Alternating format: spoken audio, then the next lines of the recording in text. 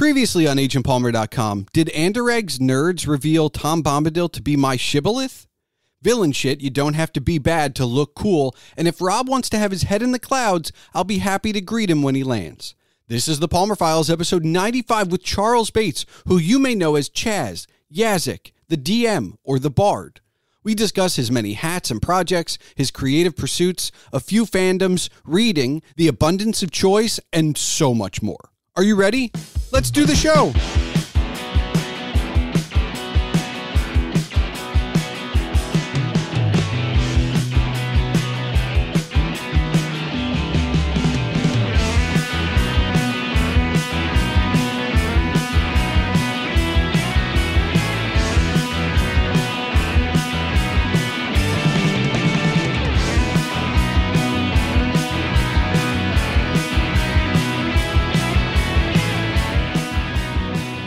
Hello and welcome to the Palmer Files. I'm your host, Jason Stershik, also known as Agent Palmer, and on this 95th episode is the DM, the Bard, Chaz, Yahzick, the man, the myth, the legend, Charles Bates. Perhaps you have heard of one of those names, all of which he'll answer to, or perhaps not, so let me explain. Charles is the DM in a series of videos on the YouTube channel Mann Shorts. That's M A N N Shorts. That channel also hosts a series titled Drunk Before Noon and many other videos. If you enjoy this conversation, you should definitely check out the channel. Also, on that channel and on other podcast platforms, you'll find him as the Bard in his podcast Bard Advice. And of course, there's his music where he creates albums as Yahzick. We do touch on many of these pursuits throughout the conversation you're about to hear, but we also discuss being storytellers and artists, the desire for discovery, the abundance of choice, the concept that perhaps rational people don't create art, and separating art from the artist. All of that and a whole lot more is coming your way shortly. But first, remember that if you want to discuss this episode as you listen or afterwards, you can find all contact information for Charles and myself in the show notes. You can watch Charles's content on the Mann Shorts channel on YouTube. That's M A N N Shorts. There you can find the D&D editions, Drunk Before Noon, and the video of his podcast, Bard Advice. You can also listen to his music on YouTube or Spotify by looking up Yahzick. That's Y-A-H-Z-I-C-K. Don't forget you can see all of my writings and rantings on agentpalmer.com. And of course, email can be sent to the palmerfiles at gmail.com. So without further ado, roll for initiative.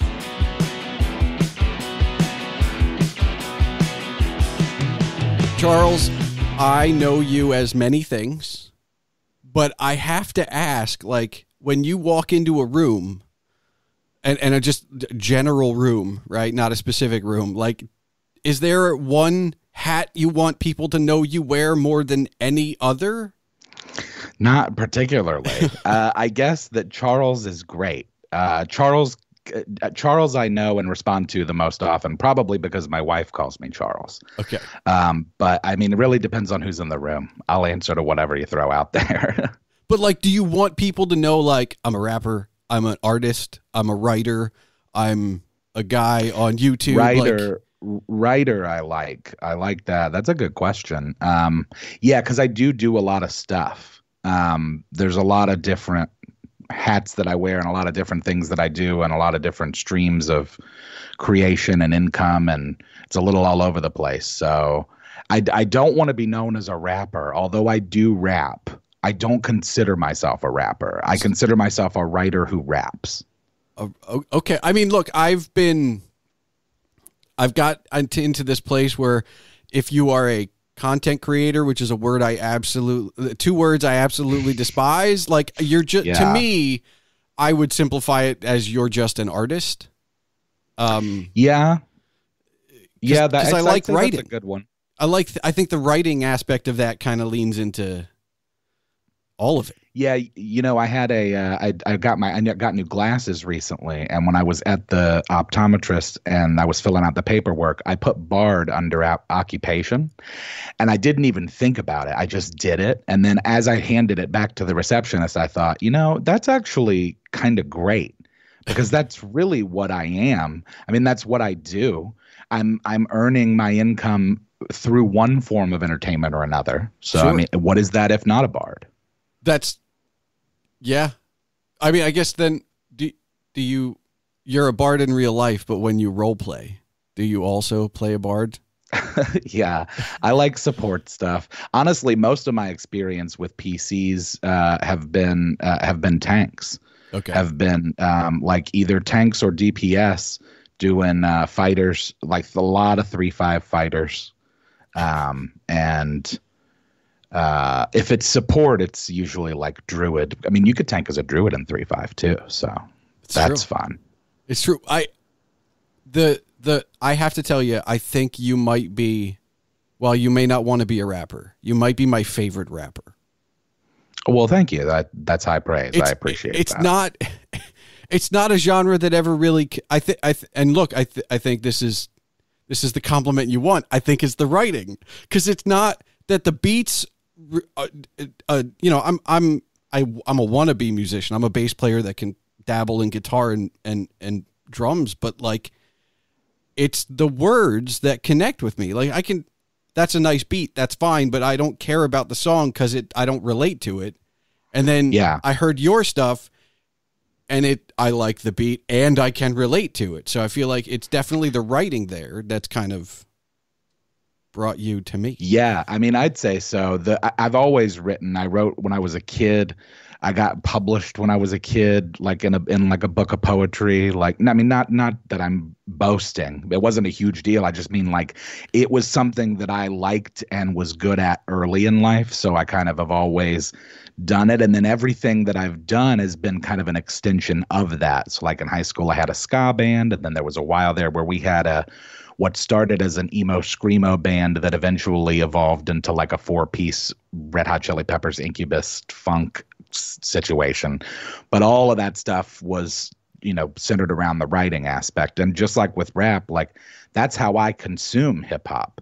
That's the kind of rap I listen to is conscious, where it's and and I actually kind of like it about the music because a lot of people that that I talk to that don't listen to hip hop are like, well, you know, it's kind of repetitive, and it's like, yeah, but that's the point because you're not so focused on what they're doing musically, it allows you to focus on the words. Yeah. And commercially, that's not so fun. But there's a lot of really, really gifted rappers out there that have a lot of really great, smart, wise things to say.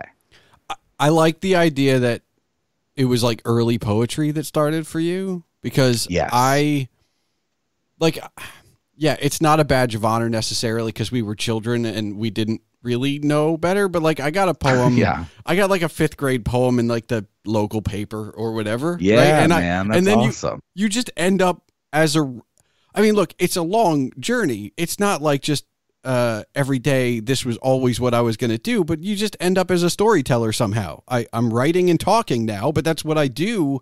And that's kind of where it started because, like, you know, I wasn't the kid who only wrote in class. Like, I, I wrote as a kid, like, yeah, I got notebooks around with like poems yeah, and stuff. man.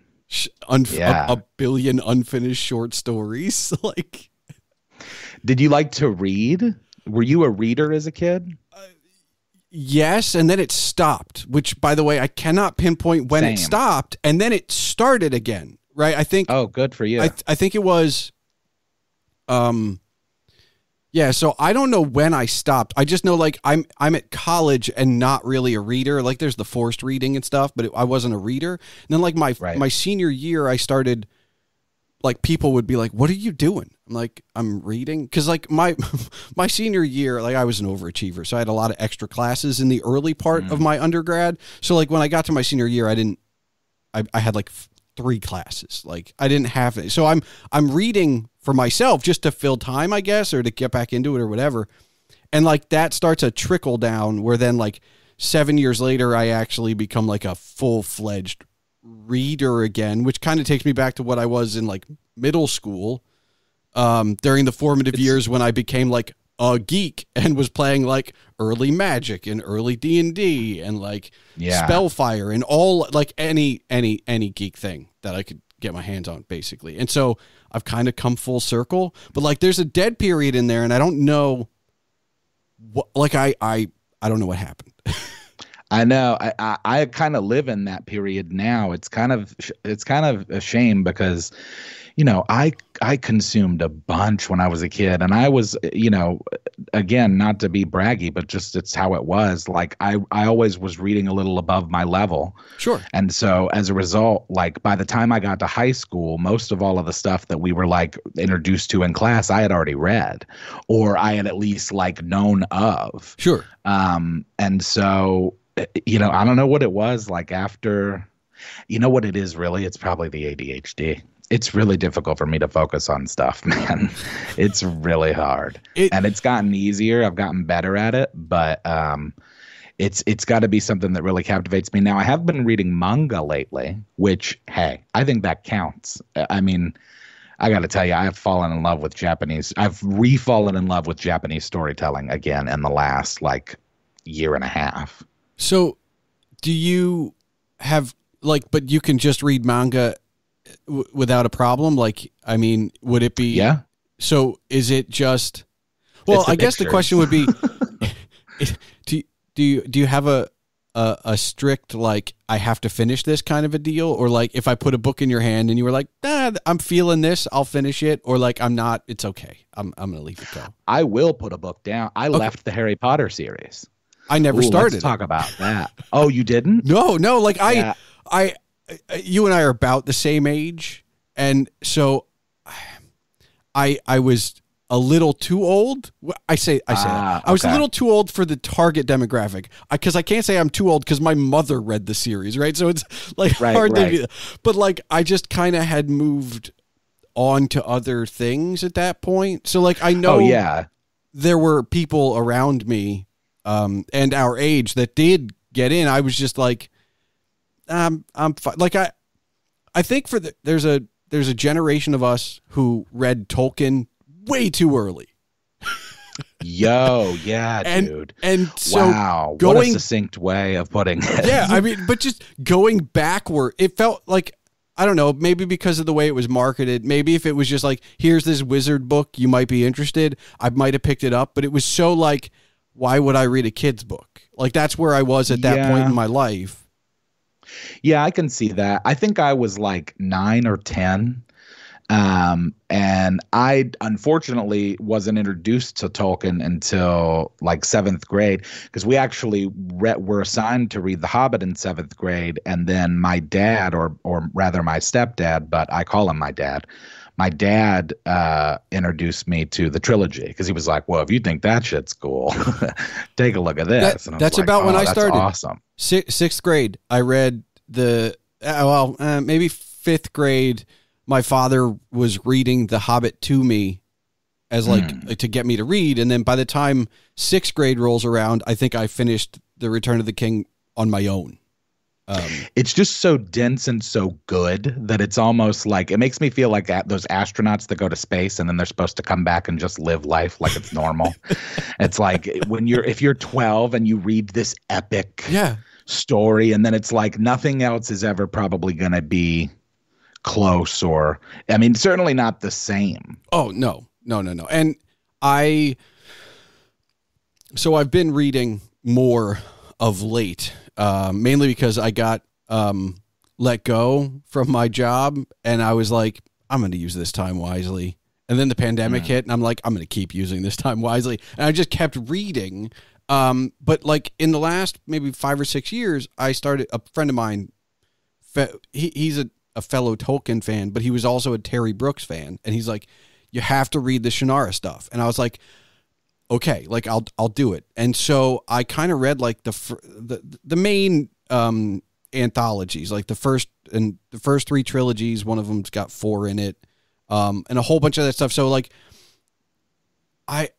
I but I think I needed to be in the right place to read them because they're like not quite as dense as Tolkien, and so you have to come at it with an open mind, yes. and that's my this is my kryptonite is making sure my mind is open because like I can I can like almost anything, but it's all about how I feel when I open the book. Like I have to be like, yeah, all right, like let's open, like let's do this, and make sure that like okay, we're good. Like I watched recently for the first time the Batman.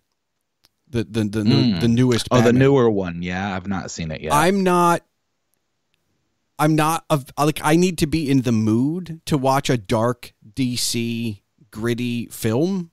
Just like I need Yeah, to be I in the mood that. to watch a horror film. So like we finished it and I was like, nah, it's not.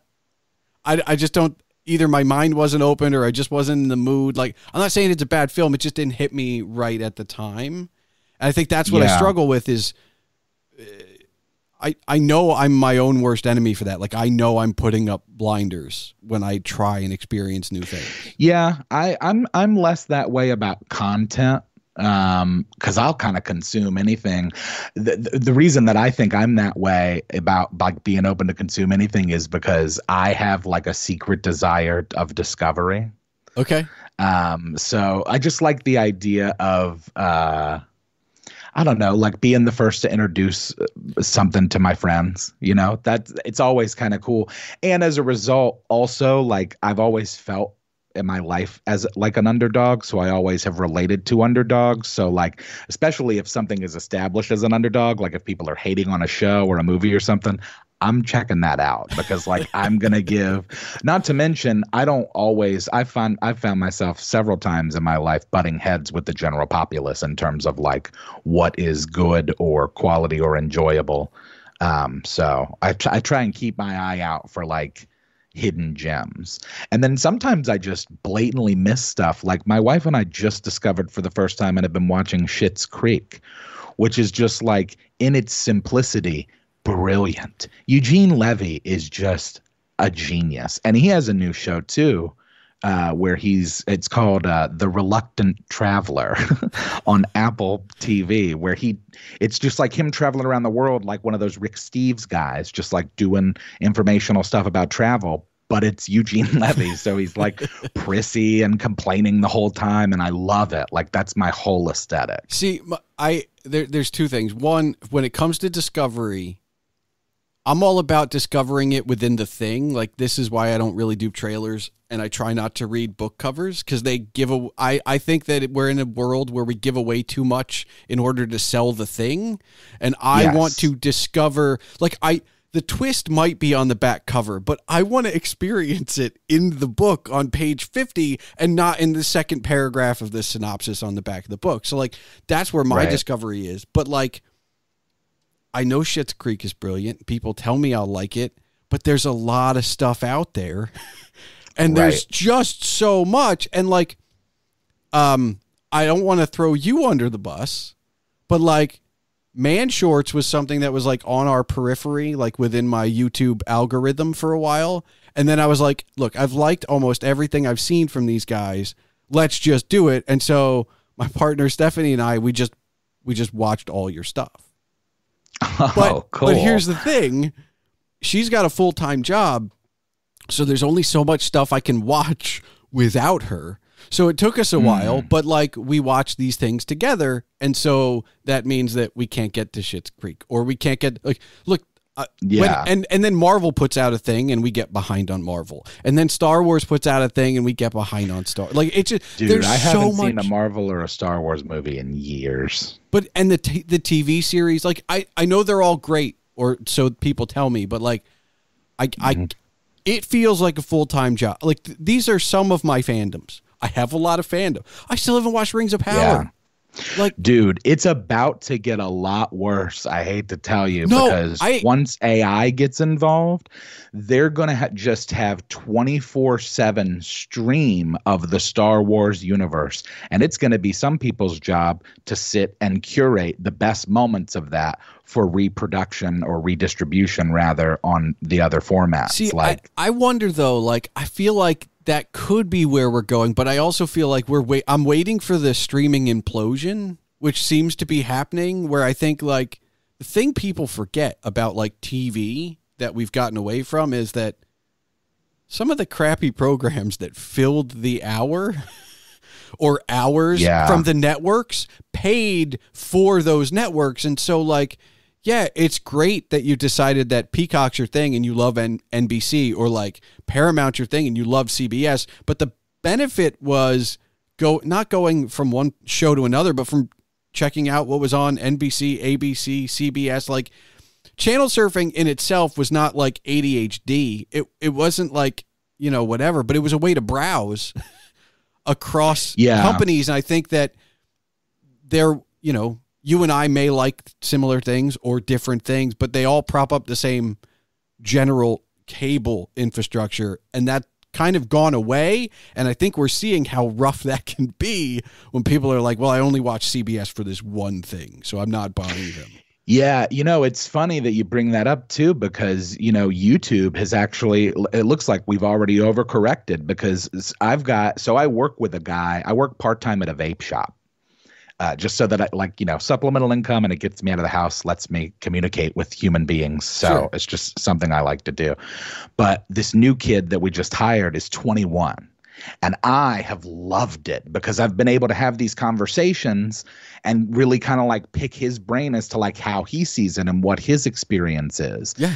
And it's just been so interesting. And he was telling me about YouTube TV and it's just so funny because it's like you know uh, it's like i'm sorry did a zoomer just sell me cable? Like what what just happened? Because really that's what it is. Like he was explaining it to me and he was like yeah bro you got to get it man because like it, you get esp you get all the like regular channels but then you also get like you know anything that's on hulu or like paramount plus. He's like there's a list that has like a breakdown of and it's like you know it's like whatever it is 60 bucks a month. And it's like well how is this any different than cable? It's, this is this is cable. Yeah. Which look i'm not mad at it. If it's you know i'm gonna i've been actually looking into it. And if it's worth the money i might very well make some switches. Because my god my wife and i have every streaming thing there is i think except peacock.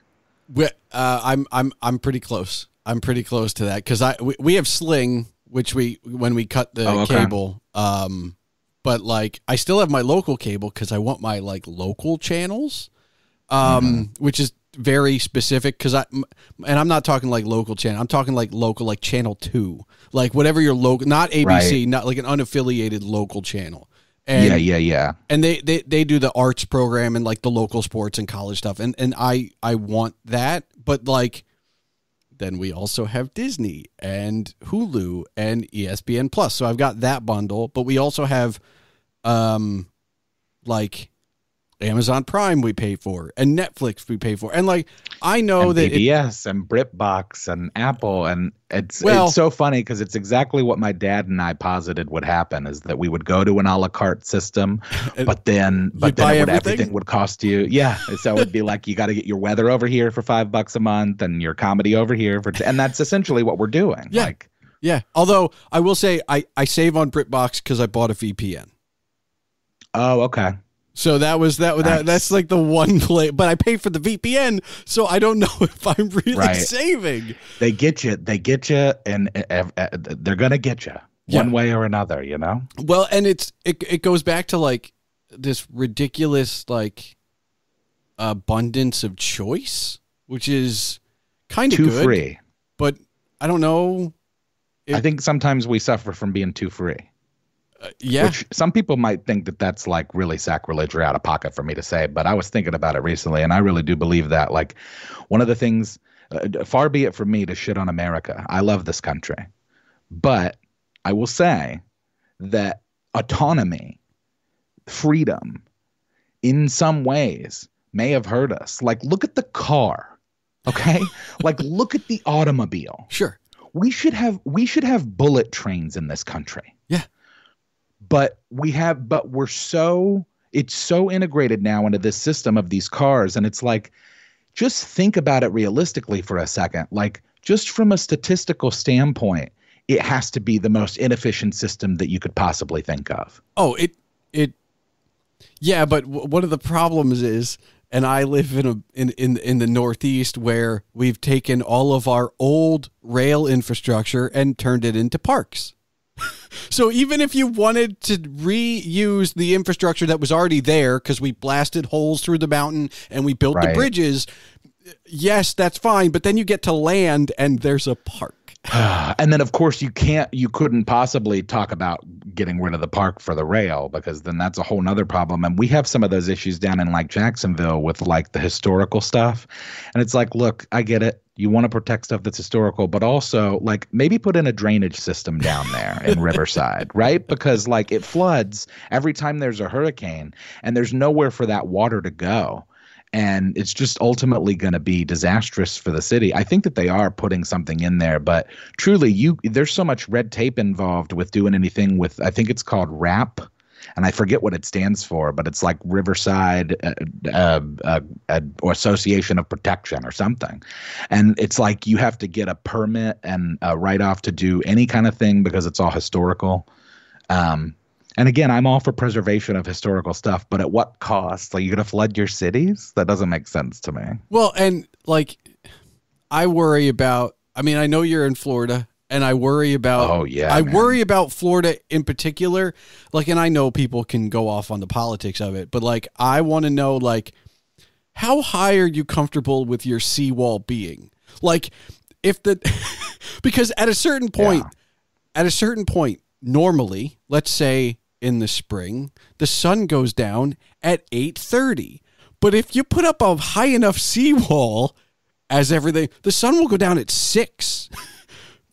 like just cuz it'll be behind the seawall, right? And I I wonder like at what point does it become like look, I'm in eastern Pennsylvania and the joke everybody here makes is that eventually Jersey will flood and we'll have waterfront property. And that's it's fine for a joke, but at a certain point Yeah. you stop laughing and you go, "Oh, wait, well, Yeah, it's been uh, it's been kind of crazy uh, just across the board the last couple of years in this state, and yeah, that's a genuine concern. Look, man, the only reason that I'm still here is because I have family here and my wife has family here, and if money were not a were not an issue, I would probably live in Switzerland, okay." but um, that or at least Colorado. but um, that said, like, yeah, I don't know. It's weird. I- think that one of the things about this place, and it's certainly been put center stage these last few years, is that this state is kind of like one of the last bastions in the country of that like Wild West, do whatever you want to do. you can't tell me what to do kind of attitude. Um, us in Texas are kind of holding that down. Yeah. Um, and then of course Montana, but I mean they're you know those Well, people are doing their own thing. They're Like- also importing Montana, Idaho. Yeah, but they're importing they're they're they're crazy. It's not naturally grown. Yeah, so are we, man. They're coming here. They've been coming here. Oh my gosh, I've seen more out of state tags in the last 12 months than I have in the last 10 years. People from South Carolina, New York. It's like, what are you doing here? Stop moving here. It's not it's not what you think it is. Let me just say that. Like and also what we don't ha- what we don't pay in sales tax, yeah. we pay or, or rather state tax, we pay in all kinds of other stuff with this state. Yeah. Um, I mean, I yeah, And- I I love the people that like move around for taxes because it's like they they'll get the money out of you somewhere. Oh, it'll yeah, it'll man. if it's not retail, then you know when your friends come to visit and they stay in a hotel, they'll get you in hotel tax or they'll get you in the yeah the the the government. While it does us some good, will always find a way to get its money. Yeah, man. It's honestly the the it's a great idea in theory. The government. Yeah, no, I mean it's It, It's all- it is. I think that it's it's a matter of more efficient. That's why I've always butted headed heads with left and right because it's like my friends on the left are like, we need more government. My friends on the right are like, we don't need any. And it's like, okay, but but the reality is uh, there's a middle ground there, right? Like we're uh, but you know, you can't get people and now they're more divided than ever, I think, in terms of just like knee jerk snap judgment reaction to letters. I think we should take letters off the people's names. well, but they I- wouldn't do that. They wouldn't vote for that. Yeah, well, I I think there's a it'll it's all up to the generation after the kids that are in high school right now will determine everything, right? Like if they Yeah. grow up if if enough of them grow up sick of the division, we might see some change in our lifetime. But if they grow up being indoctrinated into left and right mentalities, then nothing's going to change. And I I don't. I, I I told myself like I'm not going to pick up specific episodes of Mann Shorts because it would be horrible to be like, well, in that one episode. But you, fine. but you have tackled many different things um, Yeah. the left and the right and Florida and like like you've you've kind of played both sides. Which by the way, I tried to. like not for nothing, but having the left and the right be like back to back episodes. and they were essentially the same script like truly the the i i wrote the first one and then i reopened a new document with the original and went back through it and just changed whatever the argument whatever the straw man was Yeah.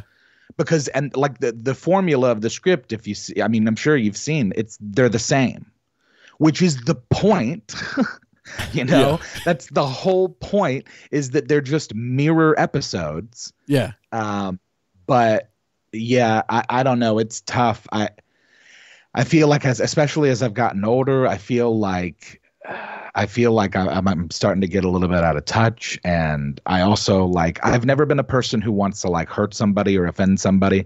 Sometimes I get into existential crises about stuff when it comes to like whether or not it like speaks to my character or whether or not people would assume that that makes me a quote unquote good or bad person. I don't know. It seems I'm I'm I'll say this. I've not ever cared about what others really think of me until I guess these last few years with this success with the channel and the music and stuff. Well, I guess the the real question would be does that hinder your ability to create cuz like I'll I'll speak to to me like I've always said that I'm not afraid of failure, but I am absolutely afraid of massive success. Like yeah, I- Yeah. it would be great to have Yeah. 200 or 300 or even a thousand people listen to every episode on release day but anything more than that where like it's a million like every time like that uh, I, I don't know what i don't know what it is about like that like next level of success that scares me but like i would much rather face plant Yeah, well, we do, right? So we we we I mean, at least I do. I won't speak for you, but like my experience with that is that like I I definitely worry, I guess, too much. Well, I mean, I think we I, no, no. I mean, I think we. But here's the thing: I think we all worry, right? I think the thing about the the the massive success and the massive failure is very different. But like in general, we've we've all failed a lot because as creatives, we all try a lot of things, Oh, yeah. And so you have to. you have to. yeah, And that that's that's what I was gonna say about the uh, success thing is that like we self sabotage as a result of that because it's like I know deep down that it's like yes, there's a part of me that wants that, but like there's a larger part of me that's like I don't want that, and maybe it's because of the fear of losing it, and maybe that's what I'm experiencing now, you know, because like this is probably the most success. I, I'll say each year, pretty much since 2016, has been better than the last for me in terms of like finance and exposure and just like what I'm doing with life. So, um, and that's inclusive of all of the craziness that happened with the pandemic. You know, like that actually was a very weird silver lining for us because we did very well that year because everybody was at home watching YouTube. So, like, I guess it's me, I guess, reconciling like all of the stuff that's going on that it's like, okay, now that I have this, like, you have to maintain it. Now that you have this, now that you've made this monster, you have to feed it. Um, and it's not always fun. Well, I, I guess the question would be, but you, but you just started a podcast within the last six months, and I so know. like it's not like you're not doing. I mean, that's a new thing, right? Like potentially there's Yeah. people out there that are like, well, it's not a new single from his next album, and it's not uh, a D and D from Mann Shorts or like a Drunk Before Noon. So what the hell is he doing? Just talking? Like there, there was always a possibility right that it wouldn't work and yet you still did it so like how i don't know i guess as like the other guy like how afraid could you be you you you still did yeah, yeah, thing. yeah. It's an obsession, I think, with, and I've I encounter this with like my friend Justin is this way with the with the creatives. It's like you obsess so much about the piece, and then you release the piece, and it's like everybody look at it, and then everybody looks at it, and then there becomes this hole this emptiness, this sorrow. This happens every week with me, man, with the editions. We put all of this work into, you know, putting the script together and having fun on shoot day and then doing the edit. And I put it all together and I get it up there and then it releases. And then there's this moment where everybody's, you know, praising and liking and sharing. And that moment has gotten smaller and smaller over the years and then that feeling of longing for the next thing has gotten heavier which is why probably i've started these new things like the podcast and like justin today dropped this uh, thing. We're going to start doing where we create d&d characters based on existing people or characters so he made rick moranis a d&d character um, and I want to do John Candy and like John McClane from Die Hard, and like there's a bunch of them that I want to do too. But I mean, like, yeah, it's just that idea of like keep keep going. And I want to let you know you're not alone. And I'm going to tell a story that some of the regular listeners have heard. But my buddy, I helped my buddy make a movie, a, a, a legit 93 minute a documentary, full length, right? Nice. we're at the, we did the premiere and like a bunch of the friends that came to the premiere with us, we go out to this like barcade type thing. And I literally leaned over. I went, So what's next? Right? Like I gave him an hour after the premiere ended before I was like, What's next? Now, a, a little backstory like we've worked on a lot of projects together. We've kind of started like some design and marketing agencies together. And he's with me weekly a bit as an as a somewhat mostly editor on the blog and you know so we always do these little projects really small projects kind of like Mann Shorts where you're doing the one and then you always have a next one right. so we did one big one and i was like yeah what's next like i i i'm with you in that like yeah it was like six months of like intense editing and then all of a sudden it's gone and you're like well, hold on. I should be doing something else. And I think it is purely just the creative mind. I don't think yes. it's, which by the way is not rational because rational people don't create art in my in my yeah. experience that's not yeah.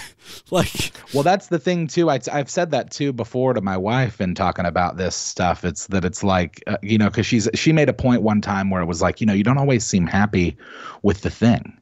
And i was like yeah but i feel like if i was i wouldn't keep making stuff you know? That's kind of like if you like we recently within the last year went and saw that van gogh exhibit that was going around the country the, the like, live one like you, yeah, yeah. Okay. It was super cool. And it was her, me and her and my mom went and did it. And, you know, obviously Van Gogh's life is tragic and, just, you know, so much just like, oh man, a lot of those poor guys just untreated mental illness. But like with Van Gogh in particular, it's just like you can tell through his story and like how he lived his life and what he was doing. It was, there was just this longing and and it's kind of across the board. You can find it in shakespeare and poe and you could probably even break it down with the with trey parker and matt stone or the guys from it's always sunny. Like there's a longing yeah. that is just like you know the, the if michelangelo had been happy with one piece then the others wouldn't have existed well, that, I, I, mean, in my, in my opinion. No, no, I agree. And I, I think I'll take it one step further because while we're recording to tape, I guess we would call this, right? Because there's no live audience, I still get nervous, right? It, it oh, could be oh, you, yeah. it could be my friend, it could be anyone sitting across from me, either in person or digitally on the platform. And I get nervous. And I think I've finally, because, like, you know, you do this for long enough and people are like, well, when are you going to stop? Right. And I think I've gotten to a point where I can honestly say when I stop getting nervous before I go and record. Because yeah. if I can get nervous, look, I, my mother was on for episode 50. And when I get to episode 100, I'm going to have my dad on. I still get. Nice. Like I don't know my mom, right? Like, and I was still nervous recording, right? So it's it's not, right, yeah. It's not about who's sitting across from me, but if I don't get the nerves, for whatever that says about me, I feel like that's when I have to reevaluate what this is. Mm-hmm. But I think it's the same for everything else. Repetition does help, though, right? Like I've been a, a weekly blogger for like 10 years now. So like hitting publish every Thursday, the anxiety's not quite there. However, when I'm writing that first draft, it's Oh, kind of a little bit there, right? And when you're editing and like the it it's still in the process. Yeah, and well, I think also like just like art in general is really vulnerable. Like because what you're doing when you do any kind of art, in my opinion, like whatever your medium, if you're like a photographer or you're a filmmaker or like a musician, like what you're doing when you create that art is like attempting to evoke an emotion Yeah. or at least like create one that people could find themselves attaching to for whatever reason. It's about relatability and also about I, I feel I think like in that in that vulnerability we're reminded of our humanity Yeah. which is why it's so beautiful and uh and important that people keep doing it i always try to make it a point with anything that i make to serve as a example or maybe not even an ex- as an example or really just like proof that like you can make your thing you know if i if if this goober goofball can like make a living doing what i do like i think anybody could. And i think that people now more than ever should be anyone listening to this uh, on the on your radio dials if you're if you've ever considered starting your own business or starting a podcast or starting a YouTube channel do it do it yesterday Yeah. because it's going to become required as AI takes away jobs so besides you know why why work for somebody else when you can work for yourself Well, and that's so the blog I started as a a writing exercise for lack of a better word. The podcast Mm. I wish I had started sooner. Like I enjoy I enjoy this. I enjoy the discourse. I enjoy talking to creative people or new people. Right? Like when was the last time you talked to somebody you didn't know? you know well, I do. I do get to talk to, to new people because of the store, because working at the vape shop. Okay. But yeah, I know what you mean. Not certainly not like this. and so I like the look. I'm not. I haven't figured out the merchandise aspect of it yet, but like bringing conversation back seems like my my deal right now, um, because like I don't, I don't want You know, the the dirty secret about this show is that if it turns into an interview, then my guest probably didn't want to have a conversation with me or was so nervous. And like I, I think I'm good enough as a host that like by the second half hour or whatever we're talking and conversing but the interviews aren't fun. Like i want you to ask me the question Yeah. or or give me a thought-provoking answer that like we can dissect together that Yeah. seems fun Yeah, no, I agree. I think that uh, and and too much lately has it gotten to be. Well, I don't know. I, honestly, I don't have much frame of reference because most of the podcasts I consume are comedy podcasts. Like I just listen to like most of the podcasts I listen to are comics. So like they're just being goof goofballs, silly goose, having a silly goose time anyway. well i didn't that's that's the those were the podcasts i was listening to until i started this one and now it's like well i'm the, the truth of the matter is I listen to a lot more of your music than I do podcasts because I've I turned a corner about 2 years ago like right at the height of the pandemic where I went like I love listening to podcasts but music makes me happy and I think I'm going to choose hmm. happiness. Oh, and it doesn't matter the music. The music doesn't matter. Like that's that's oh, it almost doesn't matter. It's just like yeah, I, I enjoy these people, these hosts and they're sharing their life with me and that's great or they're sharing their comedy or their craft but I just want to listen to some tunes. Like, yeah. I should i really should get back more. I do listen to music uh, and this is not nearly as much as i did. Um, and i'd spoken i've spoken before publicly about like i used to work for this guy and in my early 20s who didn't listen to music. Like- and i thought it was insane. Like, not i was like what are you talking about? Yeah. He, he was like i don't listen to music. And i was like what and he's like, yeah. And I was like, okay, well, what's it? And now keep in mind, this was like 08, but I was like, what's in your CD player right now? And he was like, uh, book about finance. and I just, I, I, I, he's, it seemed so alien to me. And now here I am at 35, and it's like, I mean, it's not that I don't ever listen to music, but like it's not my first choice. I honestly usually will throw pod stuff on in the background of what I'm doing. I actually actively listen to music. I don't really listen to it passively. I usually listen to podcasts passively. So do you like when you're talking about actively listening, do you like put on an album like and like start to finish or like and I usually I don't have the detention span. I I usually I when I consume music, I usually do so through YouTube, and I'm just like usually pulling it up by individual song, Okay. and it could be anything. I do have a I do have a couple of playlists that are kind of like have like a '90s hip hop playlist and like a ska playlist, and um, I actually have a uh, a playlist that is Game Grumps remixes Okay. uh, which I don't know if you've ever heard of or, or seen the Game Grumps, but they uh, they're these two guys that do like let's plays. They play video games, and I think they're really funny. But over the years, they've said all these kinds of crazy things. And there's this guy. Well, there's several people that make remixes, musical remixes of stuff that they've said or done in the games, and some of them are just really, really good pieces of music. Well, it's it's funny because like um Steph and I started getting into Minecraft content.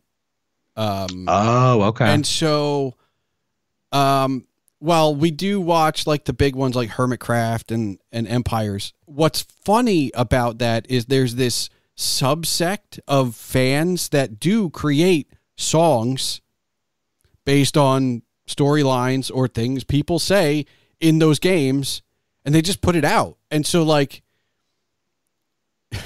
you can find it's a you, weird world. yeah, I yeah, there's there's something for everyone, right? I mean, it, it's the Yes. every movie is everybody somebody's has a favorite. lane. Yeah, Yeah, everybody's every, every movie's somebody's favorite. Yeah.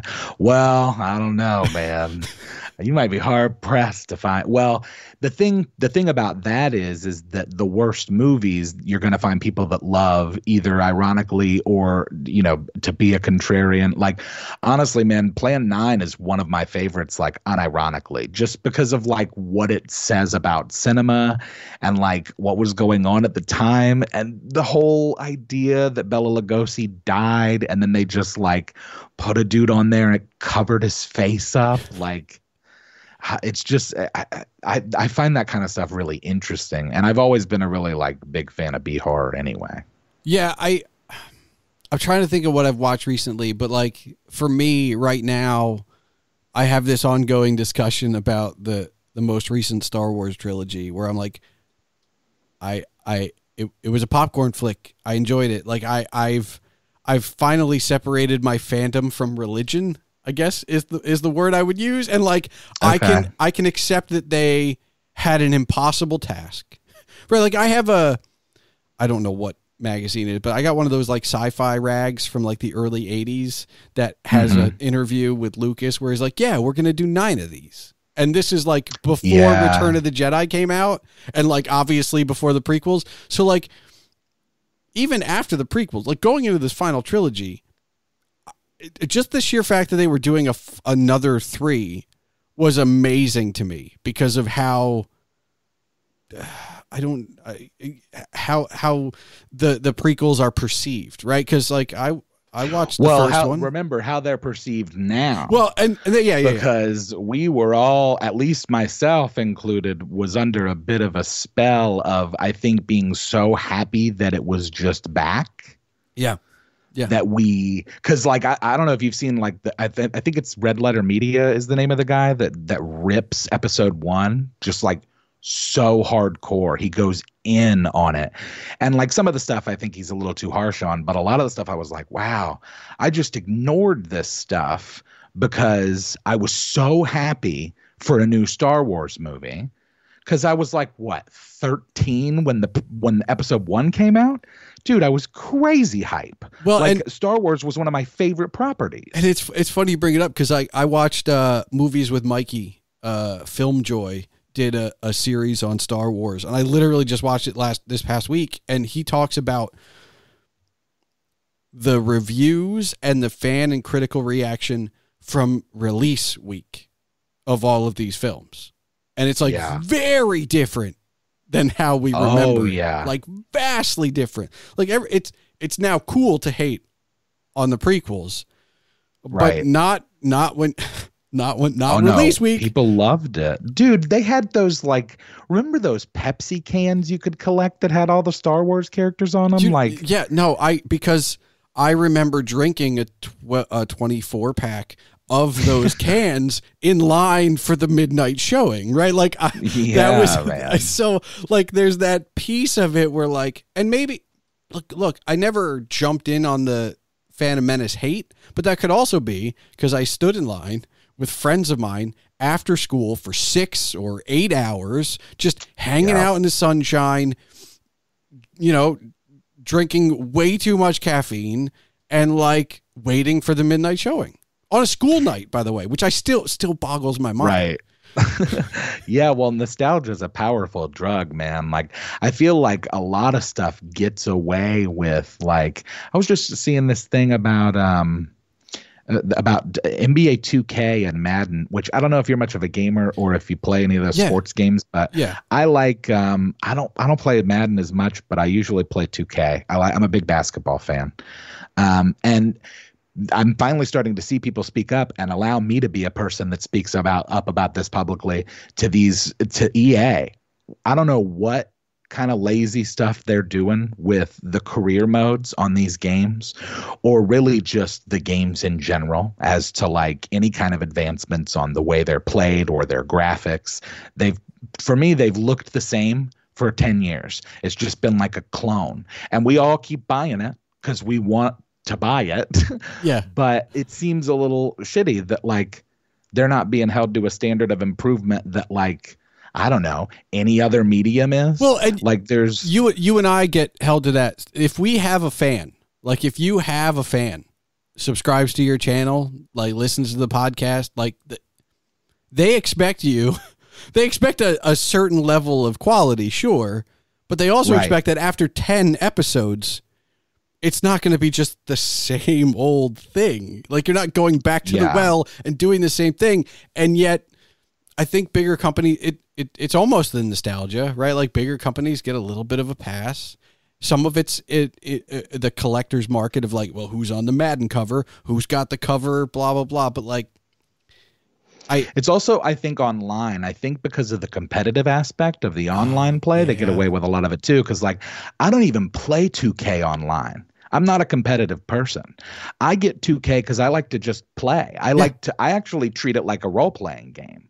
Like, I make my guy and he's got like a story and he runs through the thing. And, like, I'll, I just play the career mode against the computer. I don't care about like flexing online. but because that's so ingrained in the culture, and especially when you add streaming on top of that, yeah then uh, you know, I mean, how much can we really blame EA at the end of the day because they're just, you know, people are still buying it. Like it's not like people aren't buying the games. It's just that they're just putting out the same game pretty much every. And honestly, dude, especially this year, the, the essentially the 2K storyline for the basketball game this year for the career mode is that everybody hates you. That's the storyline. It's just like it's you, you, it's you and another guy, like your rivals in college, I guess, because it's not like you have any kind of college story in this one. And like literally, the the team that drafts you didn't want you. Nobody, no. So, so I, I went with the Lakers because I've never played for the Lakers in my career, and I'm running a point guard. So, and I wanted to play with LeBron, so I went to the Lakers. Nobody wanted me. That's the whole story. It's like, oh man, you're really gonna have to show them that you belong here, and it's like, what? Well, also, This you couldn't have come up with anything more dynamic than this. well, with the exception that like that's true of any sport of eh, like it's not even it's not even like unique to basketball. Like you you want to be a Formula 1 driver, an NFL quarterback, a, a major league pitcher, like you you you have to show up and do the thing. You have to drive the car, you have to throw the strike, you have to throw the touchdown. Like you can't just yeah. I, you, you don't just get drafted to sit on the bench. Like Yeah, it's very very weird. It's I, I it's and it's just lazy. And and honestly, even stuff with like some of the cutaway scenes and stuff when you can just tell I mean, look, I don't know a whole lot about game design, but it's like you can tell that it's like, oh, well this is just lazy. Like I just got finished I just got done playing the Hogwarts game. Which by the way, that's another one of those things I was talking about earlier with reconciling in my head as to whether or not it makes me a bad person. Yeah, I've, But- I've long since decided that like the art, uh, it look, it, if it's not circular, it goes back to the art and the artist being separate. Like most of the people Yes. are like there's like you know it's the ones that have an internal problem that we look back more fondly on than the one with the external problem but that doesn't mean all of these creatives are 100% fine Yeah. Like Well, and I also I'll say too, because I wanted to bring this up earlier when you had said it, like separating the art from the artist. Like I also feel like, and maybe it's just lately, but maybe it's always been this way. I find myself far more in love with the world than the plot for a lot of this stuff, right? So, like Star Wars, for example, I love the original trilogy looking back at the at the prequels critically it's not very good and i haven't seen any of the new stuff other than rogue one which i did enjoy. But i guess my point is like i still love star wars like as an entity. Yeah. I just don't give a shit about what your new story is. You know and i feel that kind of way with harry potter too because like i didn't even finish the trilogy or, or the trilogy. I didn't even finish the series. Uh, she lost me in the fifth book i was in high school. I got halfway through the fifth book. I got bored. I put it down. I never finished it. And then i never really watched any of the movies actively. Um but you know i was like nine or something when the first book came out. So when the game came out you know my inner child would not allow for me to not play it. Sure. Um, and I really enjoyed it. I think that it was good. I think maybe you know, I, think some people are probably going to argue that it's a little too short because I've I've completed the main stuff and I'm getting close to hundred percenting it, and I've I haven't even put fifty hours in it. I, I would But- say I, I would argue that this also speaks to the art you create because you're creating worlds uh, as Yeah. well. So I think it's just and and and you know what I mean. Look, I, I get to be the third party here because I've consumed your content and I'm talking to you, but maybe that's just it. Maybe the reason you enjoy the world is because you enjoy building the world. Yeah.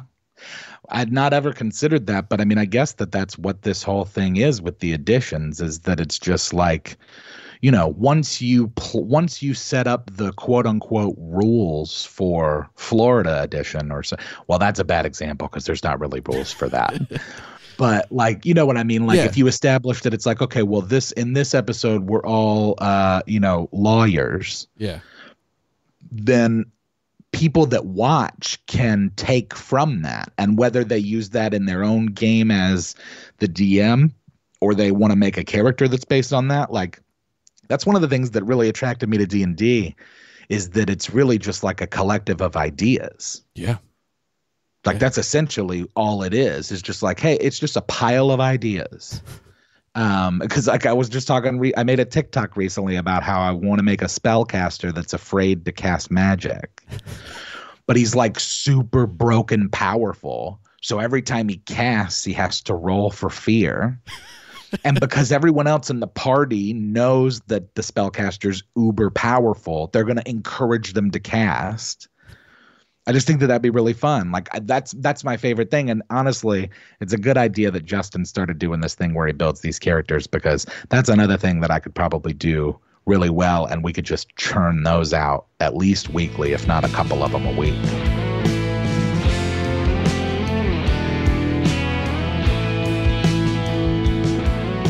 As I said, I have watched the entirety of the Mann Shorts YouTube channel, and Yahzick's albums can be found throughout more than a few of my Spotify playlists.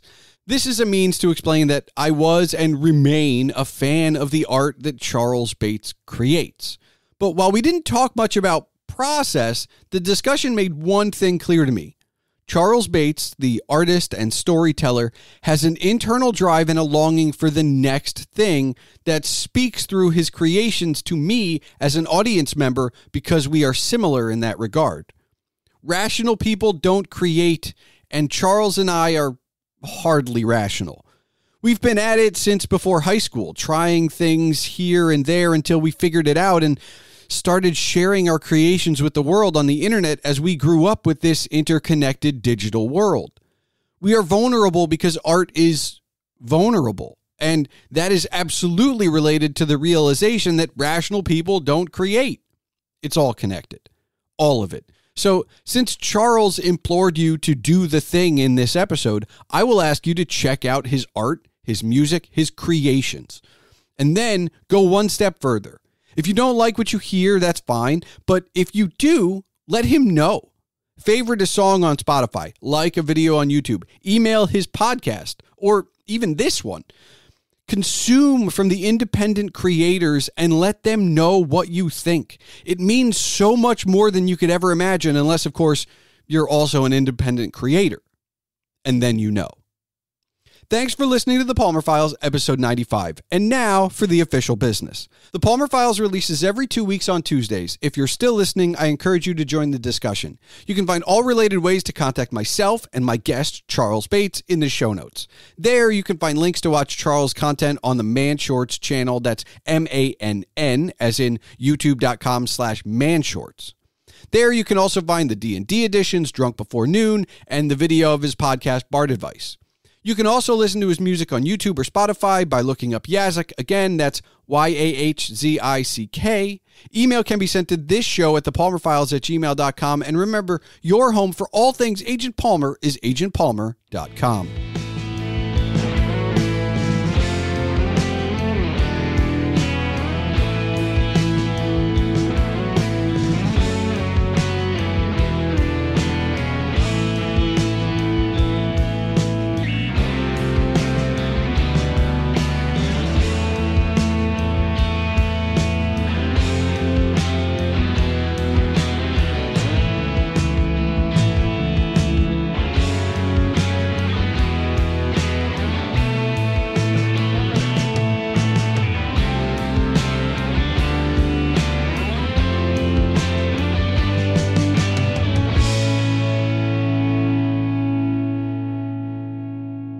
All right, Charles, do you have one final question for me?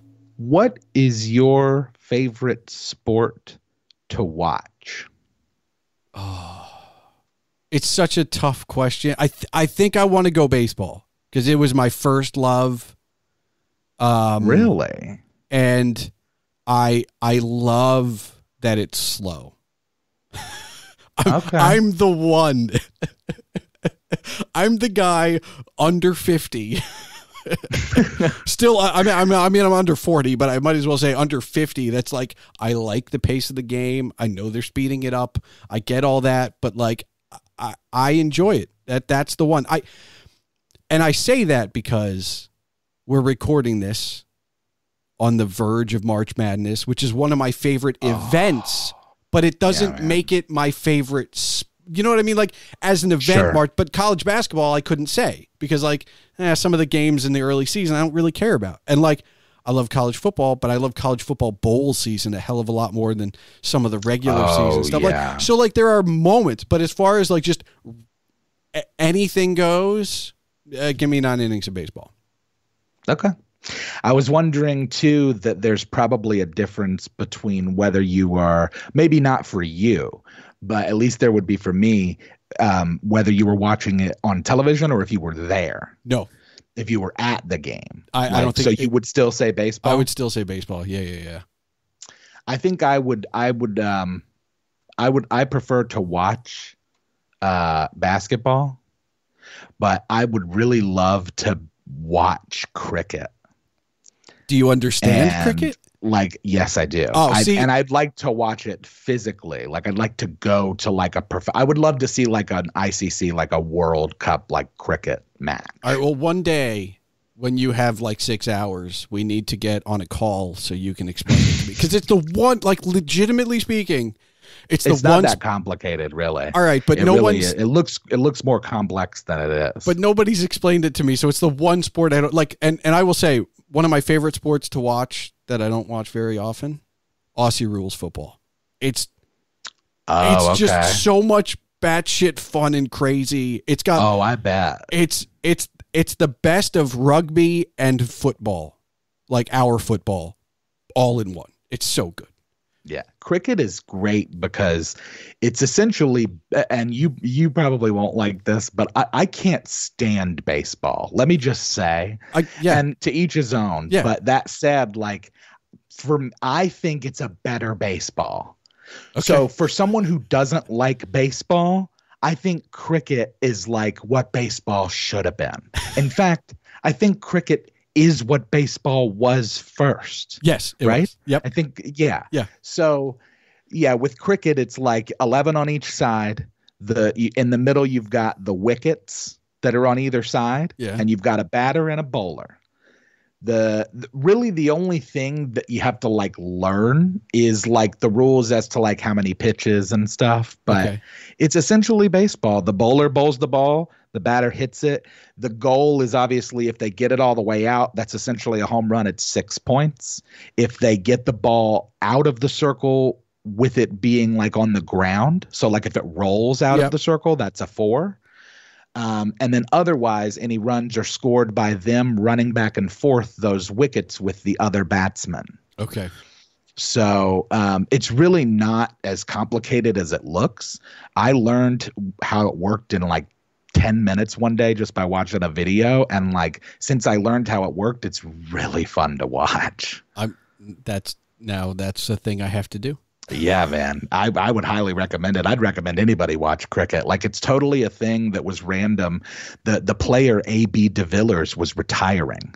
And this was years and years ago when I saw it. And and I, like you, randomly was like, Yeah, you know, I don't I don't I've never known how cricket works. And so just I was like, I'm gonna learn. And I learned and it's awesome. It's one of my favorite sports now. And it's like the second most popular in the world behind soccer. So